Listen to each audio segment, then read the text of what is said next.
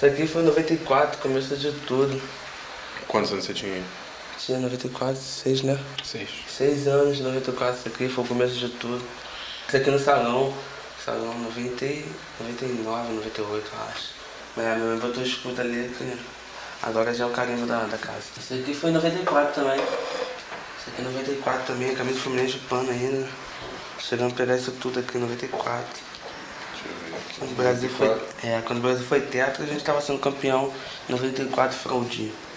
Foi campeão fraldinho. Foi, foi, a gente tinha um time massa. Eu, Will, Alex, Ami, Tinha Henrique. seis anos. É, time massa. Né? Quantos gols você fez? 72. 72 gols? 72. Mas vem cá, por que Toró?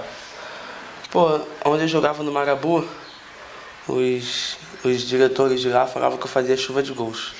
Aí começou a pegar esse apelido Toró. Aquele ali é você na seleção, né? É, esse aqui, ele botou um troféu. Capitão na seleção. Você foi capitão da seleção? Fui, fui, fui capitão. É o Belo do Soweto ali, não? Não, você faz assim, minha mãe fez. E deu certo, né? Deu nada. É. Perdemos pro Madureira 16 a 6 na final. Não deu certo não. Nunca mais fui do Caveira. Comecei a vestir a camisa do Fluminense, aí comecei amar o Fluminense do jeito que, sei lá, eu amo uma família.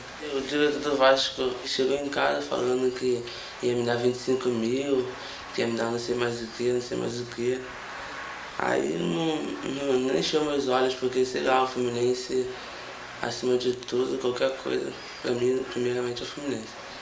Aí eu quero chegar no Fluminense, quero chegar na seleção brasileira, quero dar muito orgulho à torcida tricolor, quero, sei lá, ajudar minha família, quero chegar uma Copa do Mundo, todos os jogadores sonham chegar, sei lá, quero ser o melhor do mundo. Sempre tem que sonhar. Quem sonha pequeno, né, sempre vai ser pequeno. Eu não, eu sempre tô sonhando grande, pra mim sempre ser grande.